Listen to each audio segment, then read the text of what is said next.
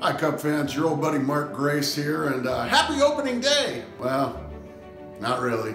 Unfortunately, there is no opening day today, but I want to give you one of my fondest memories of opening day wearing a Chicago Cubs uniform. 1989, opening day against the Philadelphia Phillies.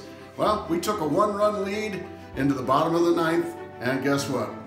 We called for the wild thing, Mitch Williams, who proceeded to load the bases with a base hit and a couple of walks, and then struck out the next three hitters to save the ball game. That's one of my favorite opening day memories, a win against the Philadelphia Phillies thanks to the Wild Thing.